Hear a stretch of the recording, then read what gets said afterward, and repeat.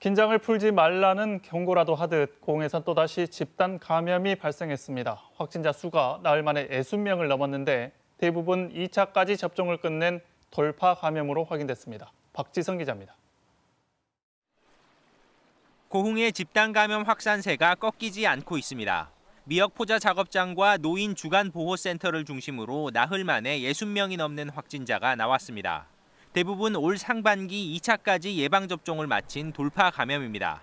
2차 접종 후 이제 3차에 해당하는 부스터샷을 맞기 직전이거든요. 면역이 좀 한계에 도달해 있는 시점에 저희 어른들이 어, 코로나에 감염이 된 게 아닌가.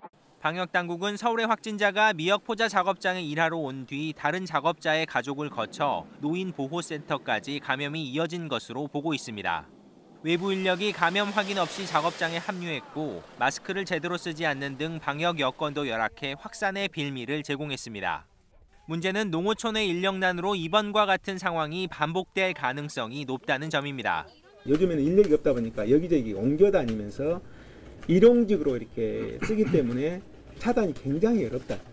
전남도는 주간보호센터 등 고위험 시설의 감염 형태가 코로나19 발생 초기와 비슷하다며 고령자에 대한 추가 접종을 서두르기로 했습니다. 또 도내 농어가 작업 현장에 대한 전체 점검에 들어갔습니다. KBS 뉴스 박지성입니다.